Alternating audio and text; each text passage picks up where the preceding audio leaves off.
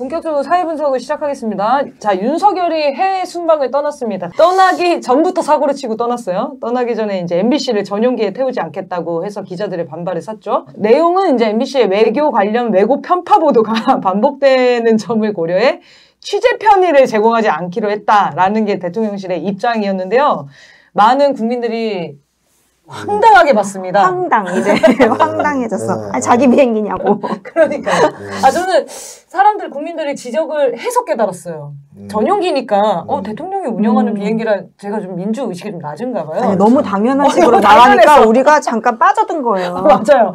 너무 당연한 거였는데 어 이게 무슨 말이지 했었는데 어떻게 보셨는지 궁금합니다. 어, 치졸한 끝판왕. 아, 뒤끝 진짜 장난인 것 같아요. 유치찬란. 네. 네. 예, 기분 나쁠 수도 있거든요. 그 비판적 언론에 대해서 좋아하는 독재자가 어디 있겠습니까? 음. 다 기분 나쁘죠.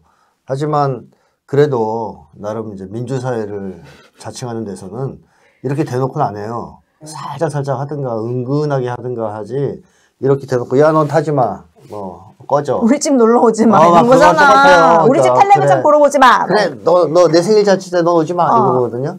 그러니까 이게 이제 아량이 없고 도량이 없는 아주 그냥 밴댕이 소갈머리 같은 그런 사람들이 하는 짓을 대통령이 국정을 운영하면서 했다. 네. 아주 놀, 놀랍죠. 네. 하여튼 기- 모든 예상을 뛰어넘는 걸 보여주는 사람이잖아요, 윤석열이. 네. 그래서 수준이 너무 처참해가지고 그러니까요. 이거는 생각지도 못한 거였는데 이제 음, 그 언론사들은 언론 탄압이라고 이렇게 막 입장문을 발표했거든요. 근데 전 무슨 생각이 들었냐면 언론 탄압이 너무 거창한 말 같은 거예요. 음, 윤석열이 한 게 언론. 탄압이라고 하면은 조금 음, 약간 동의 안 되더라고요. 언론 탄압의 인식이라는 게 없었을 거 아닙니까? 음, 당연하죠. 그런 거 없죠. 그냥 자기 감정 분풀이 한 거잖아요. 음, 뭐, 너- 야, 내 비행기인데 너 타, 타지 마, 이 자식아. 이렇게 한 건데, 윤석열 입장에서는. 그게 무슨 언론 탄압이냐, 이렇게 나오겠죠? 네.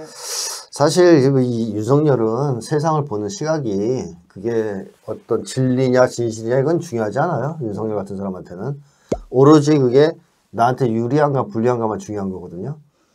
그래서 언론 탄압이 맞다고 유- 인정하는 게 자기한테 유리하면 언론 탄압이라고 할 것이고 그렇지 않으면 끝까지 아닌 거죠. 말이 안 통하는 사람 아니겠습니까? 그러니까 이게 보복 정치.